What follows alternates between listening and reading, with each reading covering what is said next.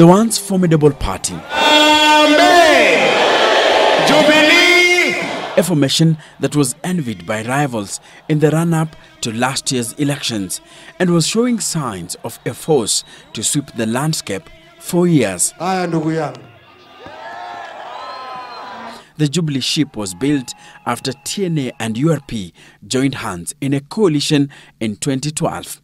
But now the ship appears to be on the brink of sinking. This one looks like more of a come we stay relationship uh, that has ended up uh, being like a one night stand kind of thing. tumejidunga e, tumejidunga mwiba mwi- eh, sisi wenyewe The Swahili equivalent for self inflicted pain. Indeed, the State House bromance that existed in the early days of the Uruto administration has since disappeared, and public feuds have played out between loyalists of President Uhuru Kenyatta and his deputy William Ruto. A recent declaration from the ruling party's vice chairman, who has since resigned, confirmed that indeed the Jubilee House is in trouble. part of the conflict came from people who did not understand who was running Jubilee. There's been this matrix, this mantra from a lot of people of saying that Jubilee is run by Uhuru Kenyatta and William Ruto. No political establishment is run by two people. Squabbles in Jubilee appear to be a script that has been starred by suspicion, internal wrangling, and ultimately all boiling down to the 2022 Uhuru Kenyatta succession debate. According to insiders, things started falling apart during a parliamentary group meeting at State House immediately after the 2017 general election, in which the head of state barred Jubilee leaders from engaging in politics for the four years till 2021. In his address, it is intimated Uhuru Kenyatta made it clear that all the energies be directed towards the realization of the Big Four agenda that could translate to his legacy upon his retirement.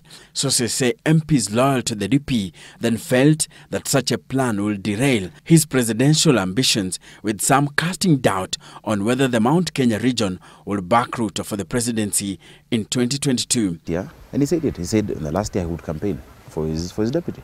The people who have been trying then to pressure him to repeat it declare again say it in public are people who have completely lost focus and gone off script. Because then we said it is true. We have these promises to make to deliver. We have this work to do. We want to unite our country. We need to fight corruption and need to transform it through the big four. So for them to try and draw him back into that conversation, of course, you will not get an answer. Because that is not what we're supposed to be doing now. The mistrust, the seeds of mistrust and the divisions can only, can, can only widen, even with the exit of one David Murathe, who really uh, seems to be speaking to a particular constituency. He's not just talking the way he's talking out of nowhere. We will do nominations from the MCA to the level of governors. But on the issue of presidential backfire of Jubilee, the automatic presidential candidate for our own is His Excellency the Deputy President Dr. William Ruto. There is no written agreement of who follows who. Because we wanted to create the depersonalization of, of politics. In, in the agreement, even the name Uhuru Kenyatta does not exist. Even to be the presidential candidate in 2017 or even in 2013. The, his name does not exist. Back in 2013, it was that this party, through its processes, will produce a candidate. And this other party, through its processes, will produce a deputy. That's what it was. Because we were saying, let's create a way through which, through party processes, If they don't want him, let, him, let them leave him in peace, but let them not call him names. We are tired of what is going on. We want to know who is who in this leadership. The president has avoided questions about his succession plan, a complete departure from times between 2013 and 2017 when he showed unmatched value and support for his deputy. There are people who assume that they can determine where Jubilee goes. As far as I'm concerned, the only person who's going to determine where Jubilee goes is Uhuru Kenyatta. Enoch Sikolia, Runinga Citizen.